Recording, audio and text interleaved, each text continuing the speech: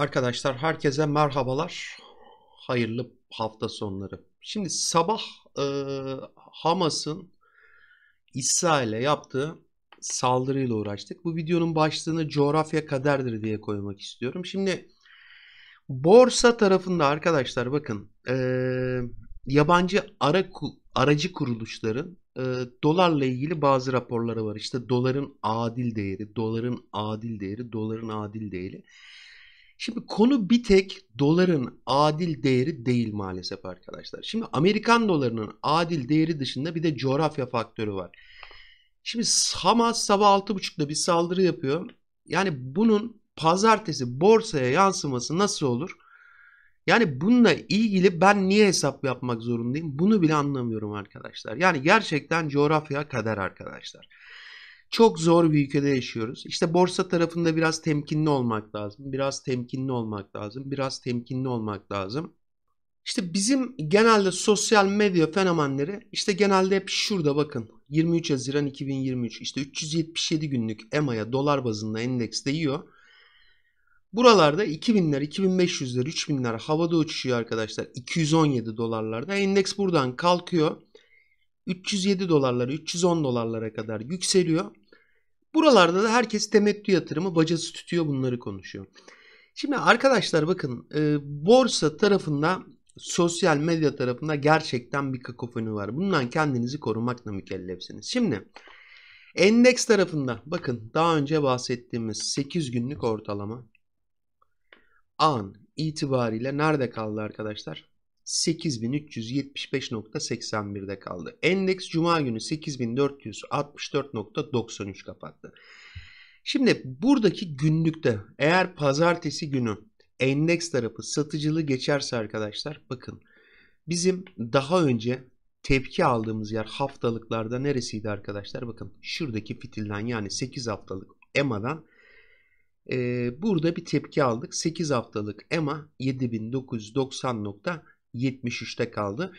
Bu hafta ben 8 haftalık EMA'yı önemli takip edeceğim arkadaşlar. Yani cuma günkü kapanış yani eğer full içerideyseniz pazartesi günde borsa kötü bir şekilde açılırsa ki arkadaşlar açılmasa bile İsrail'in buna karşılığı sert olacak.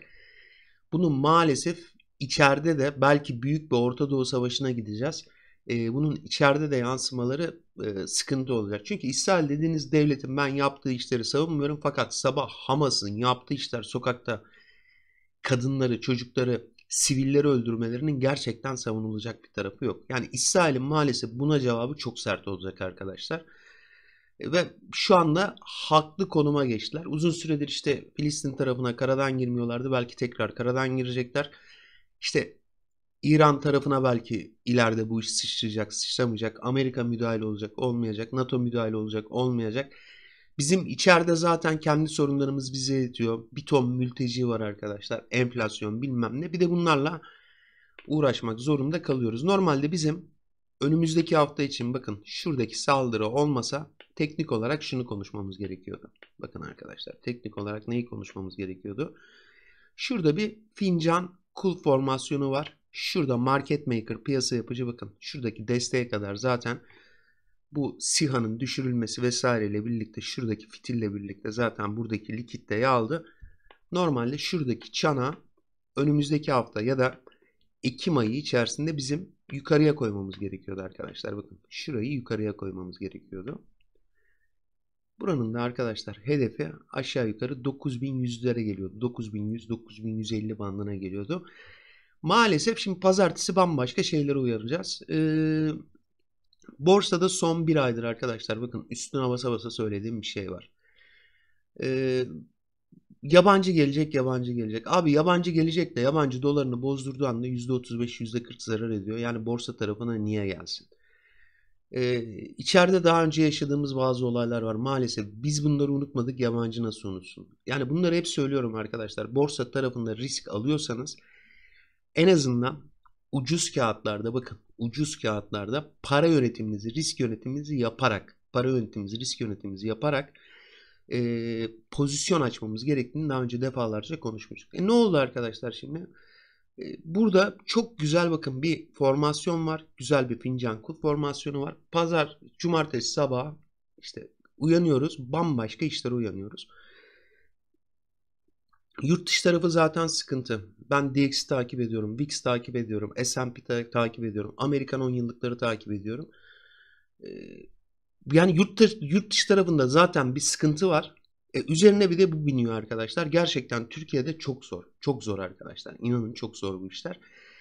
Bu önümüzdeki hafta içerisinde bakacağız. Arkadaşlar videolar çok fazla izlenmiyor. Yani şunları elimden geldiğince çekmeye çalışıyorum. E, yorum ve beğeni atarsanız arkadaşlar biz de daha bir şevkle işimizi yaparız. Kısa vadede bakın arkadaşlar günlüklerde 8 günlük EMA 8375.81'de kaldı. E, kısa vade için muhakkak burası. Orta uzun vade için de haftalıklarda 7990.73 yani 8 haftalık ama bunlar biliyorsunuz arkadaşlar günlük saatlik değişen ortalamalar. Bunların takip edilmesi gerekiyor. Ee, izleyip göreceğiz arkadaşlar. Hep söylediğim gibi para yönetimi, risk yönetimi ne oluyor, ne bitiyor, ne yapıyorum, neredeyim.